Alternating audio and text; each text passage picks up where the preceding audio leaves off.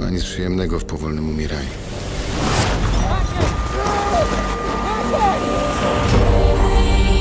Twoi bliscy są tysiące kilometrów stąd. Nie możesz się z nimi pożegnać. Maćku, Maćku, gdzie jesteś? Odbiór. Maciek, słyszysz mnie? Musimy skończyć to, co zaczęliśmy. Co ci proponował? Broad Peak. Nigdy więcej nie pojadę z nimi na żadną pieprzoną wyprawę. Obiecuję.